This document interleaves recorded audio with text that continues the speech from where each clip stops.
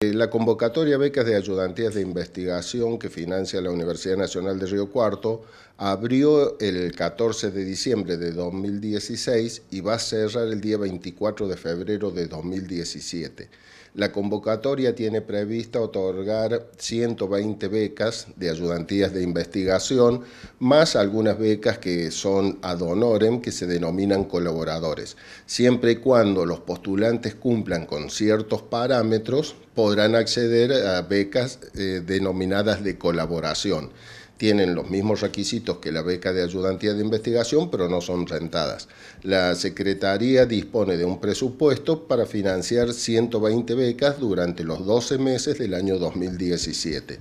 Si se presentan más de 120 postulantes, que es el caso, normalmente ese es el caso, entonces habrá 120 que serán rentados y habrá un determinado número que se denominan colaboradores que cumplirán con su beca de colaboración, tendrán las mismas obligaciones que los ayudantes de investigación, tendrán un certificado de, aprobación de su beca y se les requerirá también un informe al final. De estas 120 becas rentadas que normalmente se otorgan, hay un porcentaje que se destina a las becas denominadas renovación, es decir, becarios que en este momento ya tienen la beca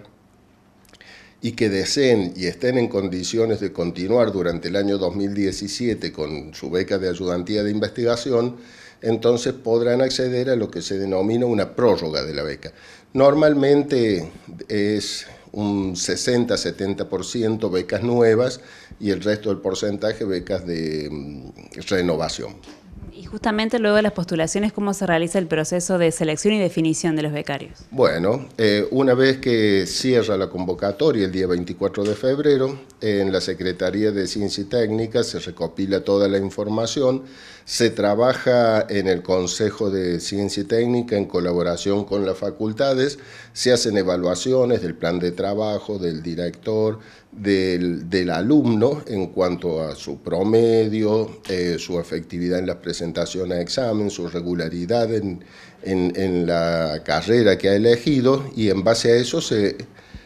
hace un orden de mérito. Los que queden dentro del orden de mérito ingresarán en la categoría de ayudantías rentadas y aquellos que les alcance el puntaje, es decir, que excedan un, un mínimo, podrán llegar a ser colaboradores.